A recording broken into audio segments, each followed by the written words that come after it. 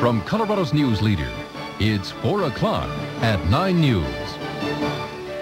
English for the Children, the group that hopes to end bilingual education in Colorado, has just recruited two former Denver Public School Board members. The group made the announcement earlier today on the west steps of the Capitol.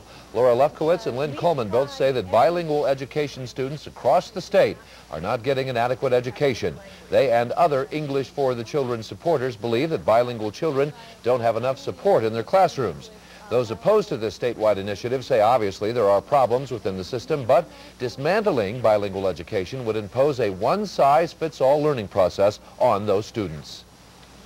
I believe that the goal is, at the bottom, success for children, and English is the language of this country. It does not preclude that they would have another language, and I support dual language programs.